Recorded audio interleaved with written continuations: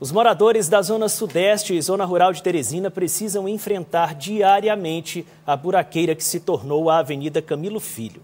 Vamos ver como está neste momento o tráfego por lá.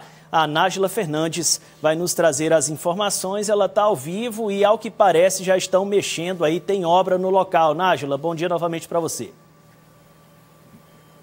Exatamente isso, é, Tiago. Bom dia a você e a todos que estão acompanhando Notícia da Manhã. A gente está exatamente no canteiro de obras, uma obra importante para resolver, inclusive, um problema antigo. Aqui do lado, já já o nosso cinegrafista Haroldo Fabrício vai mostrar, a gente tem um riacho conhecido como Itararé, que em épocas é, de chuvas, principalmente de chuvas intensas, ele acaba é, enchendo e ultrapassando a via por onde passam os veículos, inclusive um trecho de constante fluxo, não é? principalmente em horários de pico. Mas para explicar para a gente melhor o que está sendo feito aqui nesse local, eu vou conversar agora com o coordenador da ETURB, Edmilson Ferreira, que está aqui ao meu lado. Muito bom dia para o senhor. Pedi para o senhor explicar exatamente que tipo de obra está sendo feito aqui.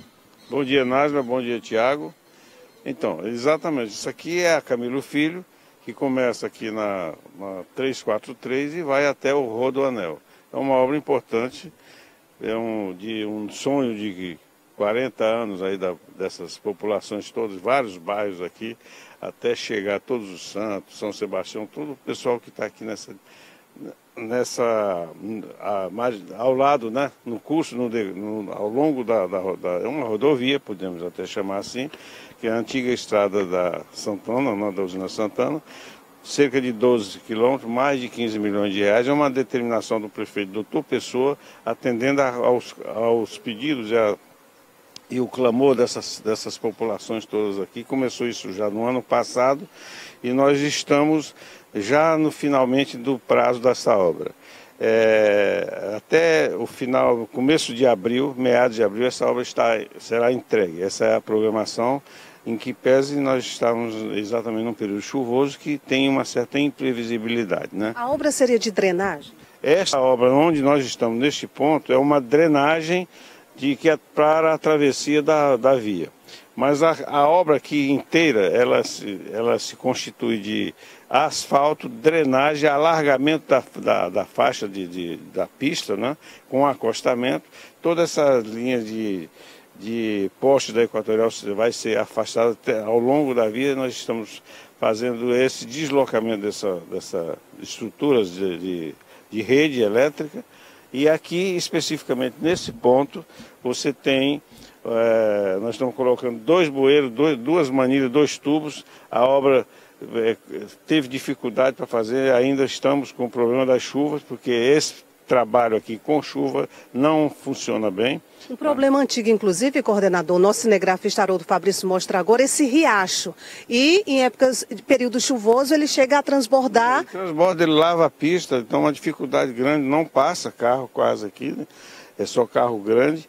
Então nós temos dois bueiros antigos de mais de 40 anos que se revelou agora insuficiente, porque a, a quantidade de água que chega aqui vai aumentando à medida que a cidade vai crescendo impermeabilizando suas, suas adjacências aqui. Né? Isso, essa água vem de longe. Ela passa também lá pela Dom Helder, você imagina aquilo lá, nós estamos fazendo até uma, uma obra lá de pavimento rígido por conta da quantidade de água que passa ali. Esta obra aqui da drenagem, nós estamos já a previsão é que até quarta-feira era para ser já ter, ter, sido entregue, mas choveu muito, nós tivemos, tivemos que fazer aqui, inclusive, retrabalho para, é, por conta da lavagem que a água fez sobre esse sobre concreto. Né? Vamos terminar isso aqui. É, hoje, amanhã, concreta, nós já estamos com a armadura, vamos fazer uma laje aqui sobre essa, essas manilhas. Até segunda-feira nós tiramos o concreto na, a, e fazemos a composição do solo da, da terraplanagem com a estrutura de concreto aí e vamos fazer, entregar essa obra. Está programado aqui para quarta-feira da semana que vem. Entregar funcionando. Pronto, excelente. Está aí a boa notícia que os moradores, principalmente da região, e quem costuma passar por aqui diariamente, não é? Precisava ter, que era esse prazo. E a obra, de fato, Tiago, está em pleno andamento. Nesse horário já as máquinas e homem, os homens também trabalhando. E como a gente já destacou, uma importante obra que vai resolver esse problema aqui, que é constante, que é antigo e que já é motivo de reclamação, principalmente de quem costuma passar por esse local. Com você, Tiago. Muito obrigado, Nájila, pelas informações.